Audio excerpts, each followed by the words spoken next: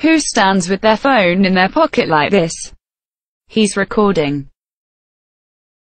There was a moment when I tried to get into the entrance, which we call it Black Rod's Gate, Black Rod entrance, when a man came in front of me and I didn't know who he was.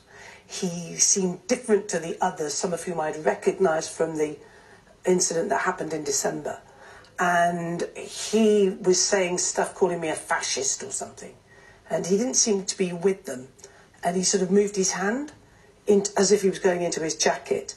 And I thought, this, anything could happen. And I did feel very exposed. Soubry looks terrified. He starts the scum chant and looks around for support. He awkwardly films Soubry.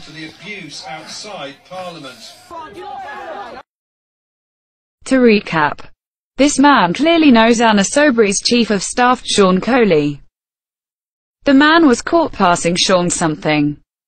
Anna Soubry goes on Sky News to complain of Scary Man. The whole thing stinks. Anything could happen. And I did feel very exposed.